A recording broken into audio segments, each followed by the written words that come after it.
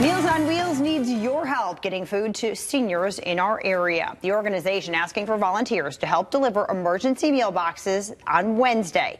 The boxes of shelf-stable food help prepare folks for the winter weather, which may impact future deliveries. Now you can head over to mealsonwheels.org to sign up and learn about other ways to volunteer your time with the organization as well. Very cool. Hey, Kalamazoo County leaders, they're taking steps in combating homelessness.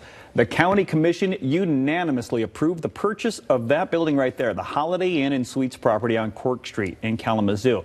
They're going to turn it into a shelter for families experiencing homelessness. The county, alongside city partners, raised 5.2 million bucks for the project and now they hope to take ownership of the property by the end of this year. Then, of course, undergoing extensive renovations before it can actually operate as a shelter. Officials hope that process will be completed by the middle of next year. Davenport University and Gentex now have an education partnership. This agreement provides scholarships to Gentex employees and their family members. The goal is to allow organizations to invest in their employees' growth and retain talent.